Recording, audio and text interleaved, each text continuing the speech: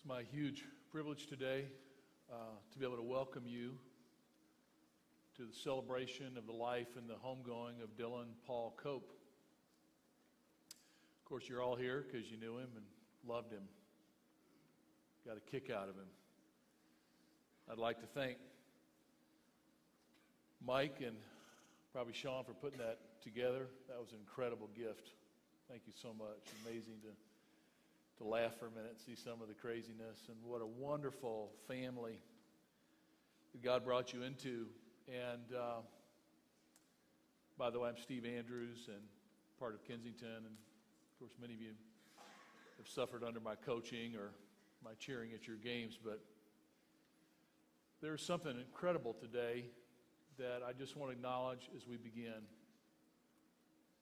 Because um, I think most of us, as we go through life, you kind of you kind of measure your days, uh, best days and worst days.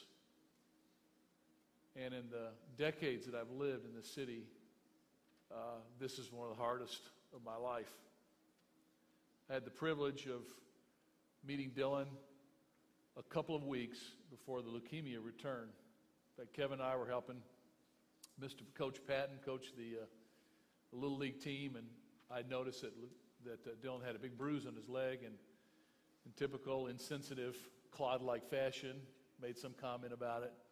He just, as you know, Dillon shrugged it off, went out and took batting practice. And Kevin pulled me aside, and it was that point said, We think that uh, maybe the leukemia has returned. And so, like all of you, I got this ringside seat to see an amazing family and an amazing community. I grew up in Memphis, Tennessee. I never thought I would live in Detroit all my life. I didn't know that I would be sentenced to life in Detroit. But I did not know what an incredible community that he would be in. And as Dave and Kevin and Kim and I were talking just a couple days ago, I wanted just to kind of set the parameters for some things that are going to happen in the next little while. One is I'm going to invite people to share memories and remembrances of stories of Dillon in a few minutes. I'd love for you to think about maybe joining me in doing with that because all of us who knew him and knew the Cope family have some pretty great memories. Memories of courage and strength along the way. But as we as we kind of share through this day, I just want to share a couple thoughts from Kevin and Kim that they were very adamant about. They wanted you to know today that they in no way have blamed God for this journey. It's pretty important that they wanted. I mean, that was absolutely critical. They wanted a miracle. They wanted God to do a miracle in Dillon's life and to heal him. But they recognized that they live like we all live in a fallen world.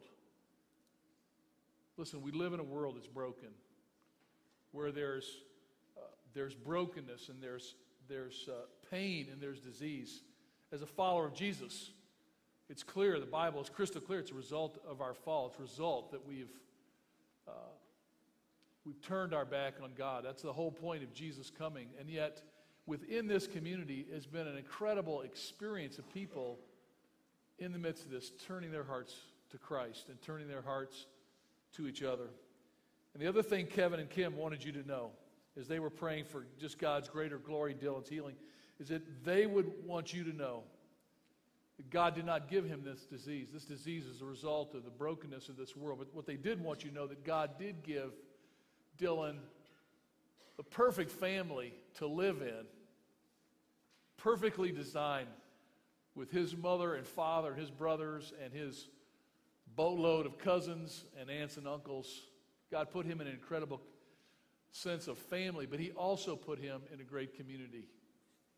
i will be 53 years old this week, and I have rarely seen when a young man was sick or a young woman was sick, I've never, rarely seen a group of men and women, young men and women who were so mature to rally around him in love and friendship and to care for him in a way that he never felt abandoned by his friends. Is that right?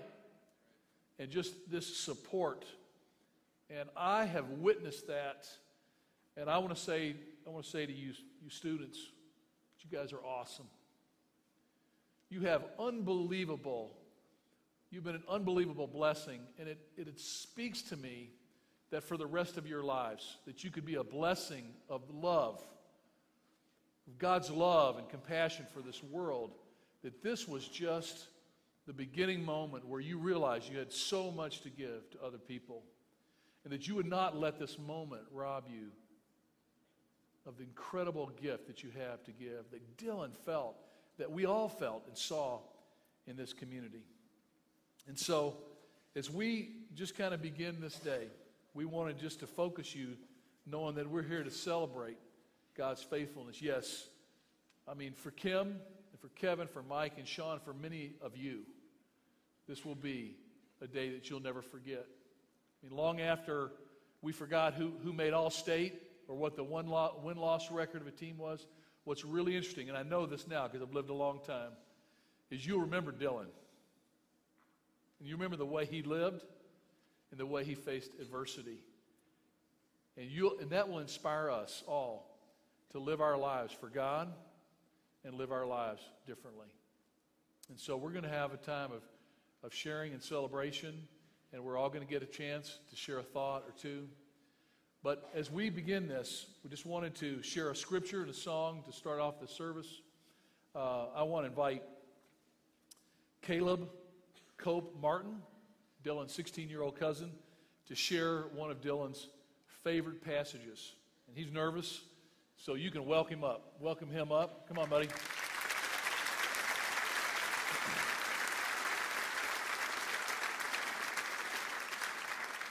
It'd be hard to describe how much this verse meant to Dillon. Well, like you said, this is uh, one of Dillon's favorite verses in Scripture. It's uh, Joshua 1 9, and uh, he memorized it and said it out loud to give himself strength. Uh, and it reads Have I not commanded you? Be strong and courageous. Do not be terrified. Do not be discouraged. For the Lord your God will be with you wherever you go.